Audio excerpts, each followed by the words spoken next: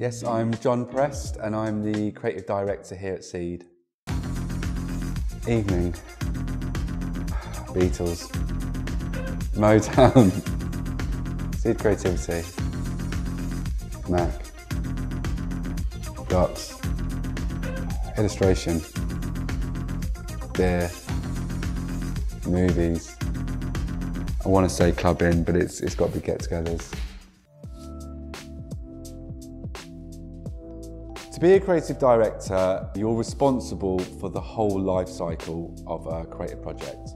So creative projects changed. It could be a production of a website, it could be creating a short film or animation, um, or it could be a full integrated campaign, which is all of the above. So from the right from the beginning, when you're working on the brief or you're liaising with the client, um, working with your design team or your production team, and then delivering um, the project or the product uh, and getting feedback from it and making sure everything ran smoothly on budget. So Seed is broken into two key areas. Obviously, we're a creative agency. I think most people know us for the creative agency.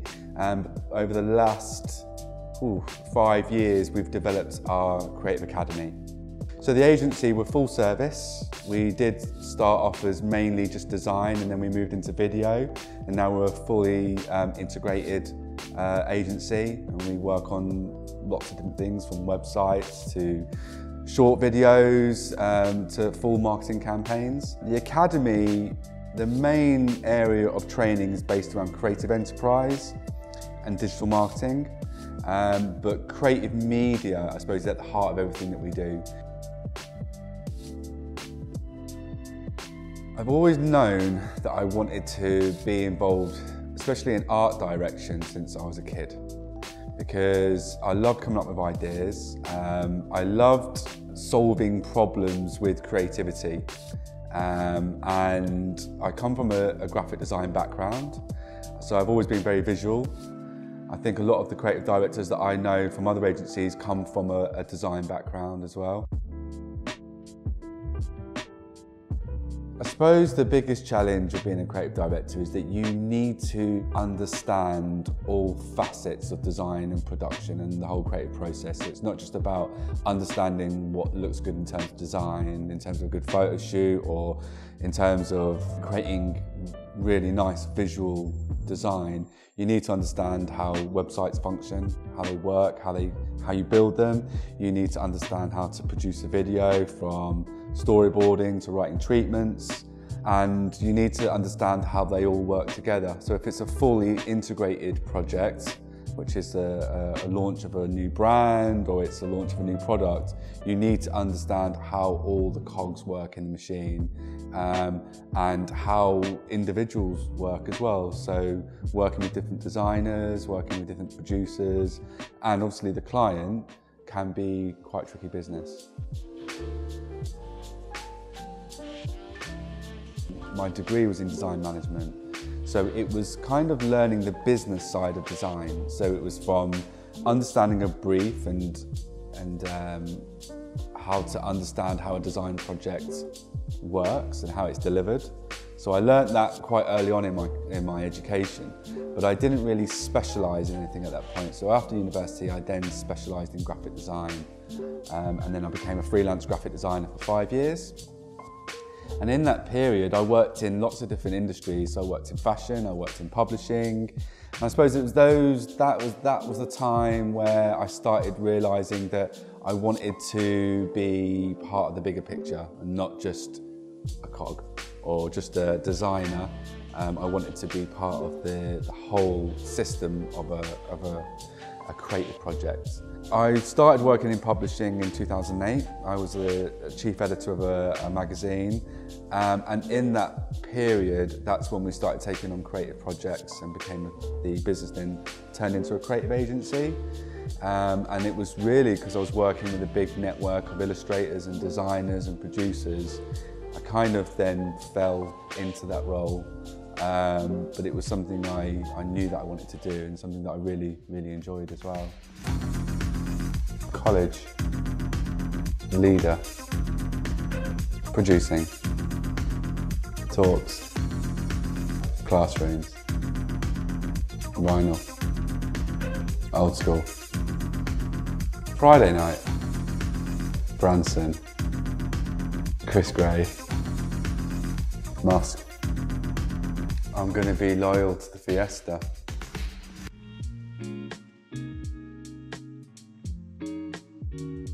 The thing I love the most is the reason why I, I, do the job is I love it when the brief comes in, when the problem comes in, and then how do I come up with a solution.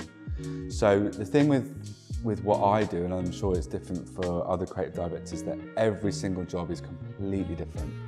So I've never had the same brief twice. So it could be we're launching a new product or we want to build a new website um, or we just have this issue where we just want to get more people to an event or we want to get more traffic to a website. And then it's kind of like you get a sinking feeling at that point, or I do anyway, and think, oh my God, how am I going to do this? How's this going to work? And then you go away and then you can start to put the puzzle together, um, the jigsaw puzzle. You know, you start to think, well, you start to think about the customer, you start to think about what the outcome needs to be and what the client wants. Um, and then you can start getting creative and start piecing that together. I think that process of being coming up with a solution to their problem is the thing that I love the most.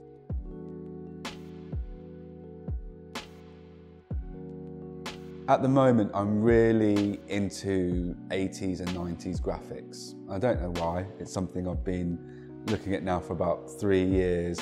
Um, anything from like Memphis pop style artwork to um, late 80s rave flyers and um, I'm looking at really bad early website design because it's that bad it's good. Um, I suppose if you're looking at trends, you do tend to sort of flow between 20 years, 30 year trends that come that come around. And I think 90s at the moment is something that's um, it's quite popular in terms of things like vaporwave and 8-bit is quite popular. Um, so that's something I'm looking at the moment. That kind of style of artwork is quite influential for me. Um, whether it be just through illustration and graphics, but also the music as well. Music obviously plays a big part in my life. Just being around creative people, like a lot of people that work in the studio, a lot of my friends, family, you know, they're really passionate and about what they do and they're really always out there hungry for new styles and new influences and I, and I kind of I kind of feed off that quite a lot.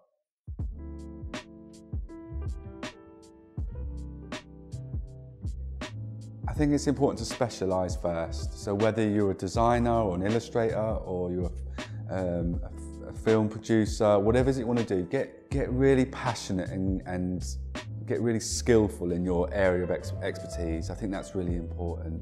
Um, if you want to move into creative direction, I think you need to then generalize and, and broaden your skill set in lots of different areas, whether it be digital, um, websites, video production, design, you know, you really need to understand how the whole machine works. That's really important. You have to want to learn and learn new techniques and new production processes and you really need to understand how the whole, the whole journey works from an idea to the final commercial product.